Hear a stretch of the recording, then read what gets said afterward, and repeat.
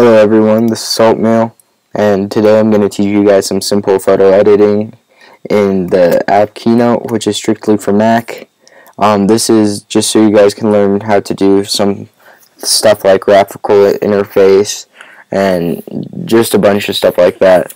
So before we start, here's my, what I already made, my design, but I'm just going to show you how to make it again. So you're going to go to Shapes, then down here to this, which is a create your own shape and then just close out of that. And then anywhere in the shape you can start drawing. Since this is going to be our side view over here I'm going to go ahead and just make our front. And you can uh, pull on the mouse back and you can rotate your shape like that. And then once you're done rotating it just click there. It will take the rotation off so you can continue across. Um, and I'll show you. Because if you rotate it like that and but you don't take it off and then you go next it's gonna make a crazy shape. Um, so you gotta click it off. Then here we are back here. Uh, put a little rotation in it take the rotation off. And then we'll finish there. Like that. Take the rotation off. Come down a little. Go across. Um, that wasn't a perfectly straight line. There we go. And then come up so there we go, we have a shape. And now you're going to want to color it any color. I'm just going to go with a basic red. So that's the outline of it. To fill the inside, you're going to go to fill. There you go. So we got the front, and here we got this side, which is going to, let's see if I can line this up perfect. There we go.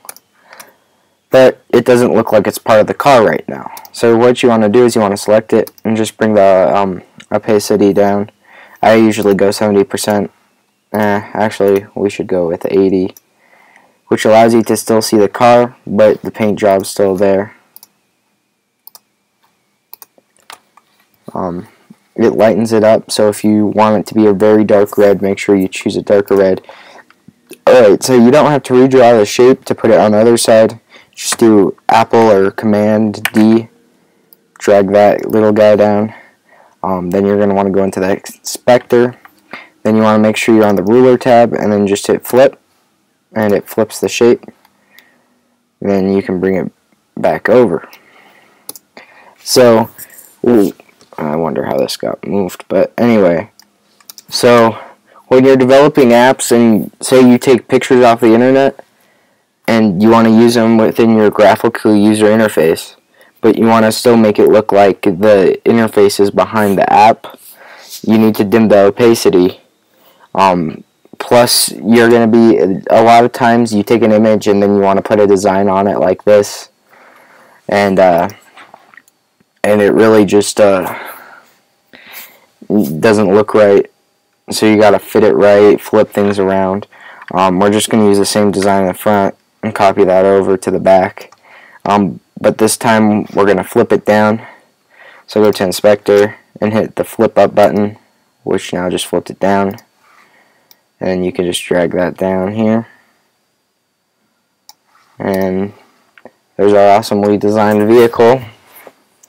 Um, now to put images into your keynote, you can search, we'll make it a cop car, so I'm going to just search up light bar.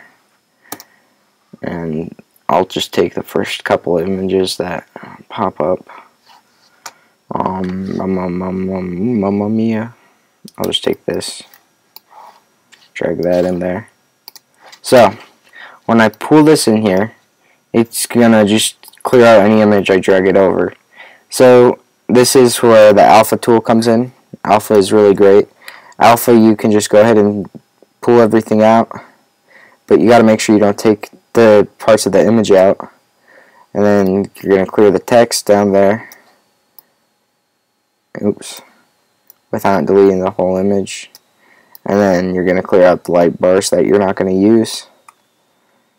Um, which are going to be these bottom two or whatever two you don't want to use. Which leaves you with that top one. You're going to drag it down. And there you go um, as you see, it still left some text there just because that's some poor editing. Um, you're going to want to duplicate it and then go up here to the inspector and go ahead and flip it around because it's we're looking from it from the back side now. So there we go. We got the basics. Um, so some of you might be wondering, well, how do I get the side view off of this? Uh, it's going to be pretty easy.